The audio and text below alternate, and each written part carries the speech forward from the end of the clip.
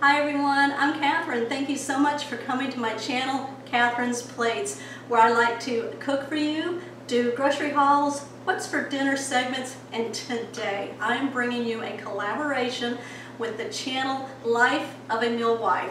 Now we are going to be taking each other's favorite family recipe and making it. So I'll be making hers and she'll be making mine. So make sure you stay around at the end of my video and go down into my description box and click on their channel so you can see what they're making of mine. Alright, if you're new to my channel, make sure you hit that subscribe button down below with that bell notification so you'll always know when my shows are posted. Alright y'all, I'm going to be bringing you chili cheese rice casserole. Alright, so the first thing the recipe calls for are diced vegetables. And we're going to be dicing up three peppers, some celery, and an onion. So if you can see my pretty pepper here, it's a mix between a yellow and a red pepper, maybe an orange too, but it's called a Fiesta pepper and I found these at Trader Joe's.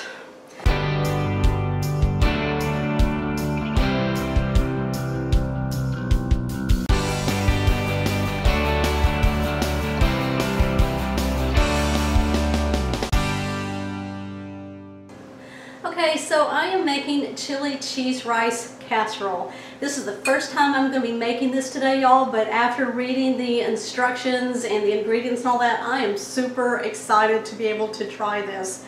Okay, y'all, so the first thing we're going to do to make this casserole is I've got my burner on, I got some oil that I put into the bottom of my, my Dutch oven here, and you saw me chop up one onion, a couple of bell peppers, and some celery stalks into dices here. We're going to saute these up. So, alright, so Life of a Mil-Wife, their channel, they are Canadian. So they are going to be making my dish, sausage stuffed peppers, and I am making their dish. So we're going to see. They're Canadian. I'm down here in the southeast Texas, about 60 miles from Galveston. So we're going to see how our two worlds collide with making each other's recipes. okay, so we're going to go ahead now and add our veggies.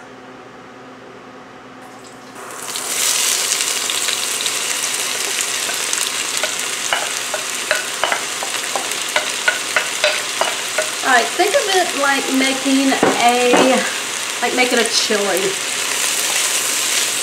Alright, there's a lot of vegetables in here. I'm going to go ahead and season it by giving it some salt and some pepper. Oh, it smells good already. Y'all stick with me and watch me build this casserole. You're not going to believe it. I'm super excited. Mmm, smells good in there. Alright, I'm going to bring you back as soon as these soften up and we're ready to put the ground beef in. These are softened down. We're going to go ahead now and add our ground beef. Now I have about two and a quarter pounds here, so I'm going to put about three quarters of this in there.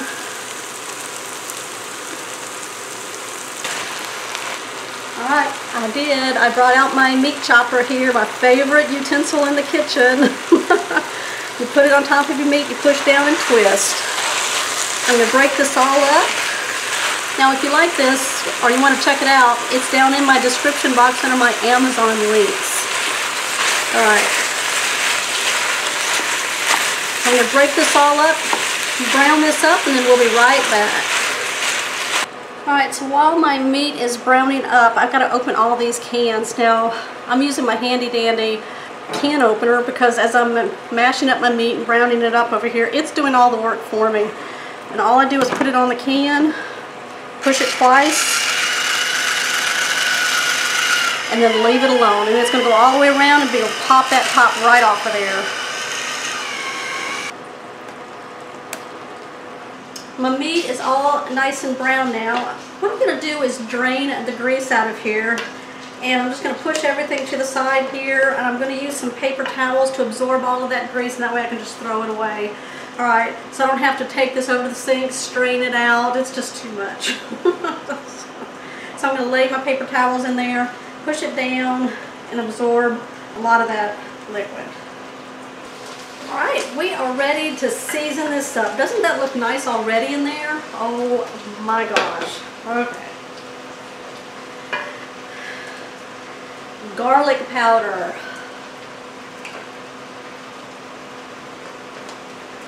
Now, I'm going to think about half a teaspoon of garlic powder goes in there. They just said just put it in as you want to, like, season your chili.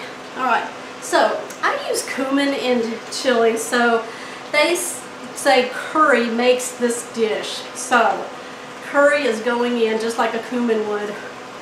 I mean, it smells really good. I like the smell of curry. All right.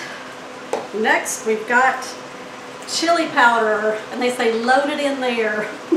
like load it in there. So I'm going to go across. Oh, it smells already good in there. All right. And we'll season as we go. If we feel like we need more of something, we'll add it in there. Right, Kevin and Kelly? Hopefully you're not frowning at me. Okay. Let's give this a mix and see where we're at. Because it smells amazing already. Oh, amazing. And then I'm going to tell you what else is going in here. Mmm, it's just, the smells are all in my face right now. Delicious. All right, let me cover these up. All right, two cans of diced tomatoes. Now these are 14 ounce cans.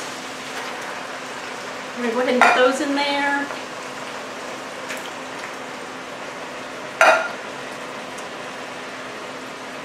We've got some baked beans. Now I've got two cans here. Now they say one can of baked beans and another can of variety beans. Okay, we'll talk about that here in a minute. So that's going in. Mmm. Oh my gosh, it smells delicious already. Yes, juice and all. all right. I'm going to stir this all up and then we're going to give it a taste and see where we are with our seasoning blend.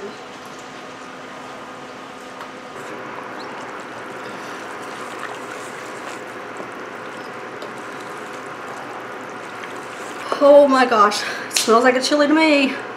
All right, so the one can of beans that I put in there were baked beans and it had like some brown sugar in it and, and some pieces of bacon in it. And then, well, they suggest you use molasses, baked beans with molasses, but I couldn't find that. So I found the one with the brown sugar in it. So it'll give it the same kind of flavor, I'm sure. So they also suggest that you add a can of regular variety of beans. I don't know, I guess it's got like kidney beans in it and black beans and I'm, I'm not really sure, but we don't eat those here, here in our house. And um, if I make chili, usually there's no beans in it, but I will eat like a pork and bean, which is like what this is right here, baked beans. So um, that's how we're going to have ours. So, all right, we're going to go in with a spoon.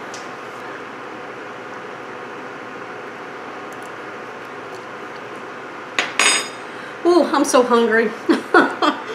I'm like really hungry. All right. Mmm. Okay. That's delicious. All right. It needs a little more liquid, I'm thinking, so I'm going to add a can of beef broth because we still got to put rice in here too. I'm going to bring my temperature up so we can bring it to a boil.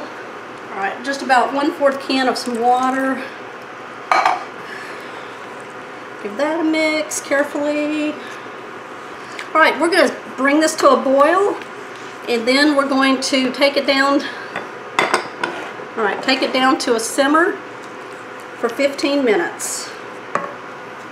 All right, so I'm going to take it down now to about um, medium low, let it simmer for about 15 minutes, and then we're going to add the rice. Oh boy, y'all. Mmm. Oh. Mmm, smells delicious. All right, we're going to go ahead now in the last five minutes of cooking this is we're going to add our minute rice. Now I've got about a cup here. What this will do is also help thicken the sauce here. All right. I'm going to stir all this in. I'm going to put a lid on it for five minutes. At this time, go ahead and preheat your oven to 400 degrees. Oh my goodness, y'all, look at that. That's the consistency you want. Really thick. All right, I'm gonna turn it off and we're gonna build a casserole. All right, I'm gonna go ahead now and ladle half of this mixture here into a 9 by 13 baking dish, which I got right here.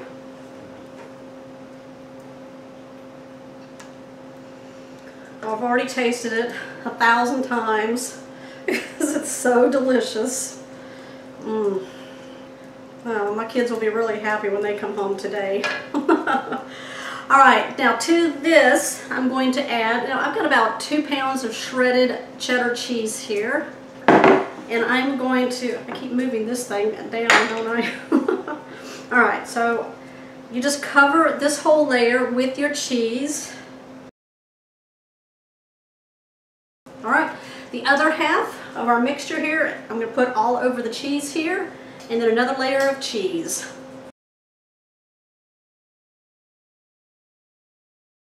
Smells amazing, and I bet with that cheese, y'all, and then there's going to be one more thing. How are we going to eat this?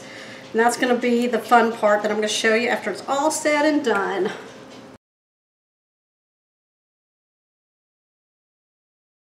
I'm scared where that cheese is going to go when I put it in the oven. I don't want to be cleaning my oven. I'll be putting something underneath here. That's for sure. Okay, I think we're there, y'all.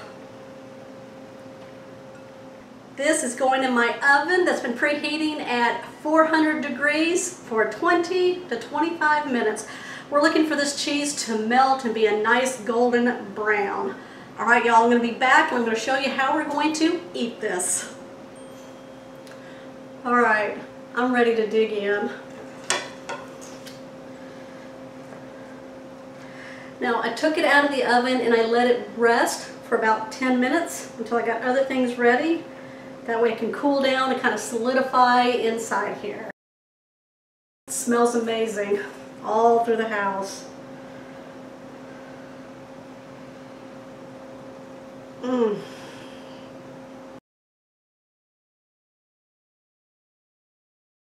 There we go. Chili cheese rice casserole. And you know how you eat this? You take a chip. That's what they say. It's the Canadian way, I think. okay. Mmm. But cheese. Mmm. Okay. That's really delicious. That's really delicious. You know what flavors are coming through? That curry. Oh my gosh, when they say you can't make this dish without it, they're right. It is so, it makes the dish. Mmm.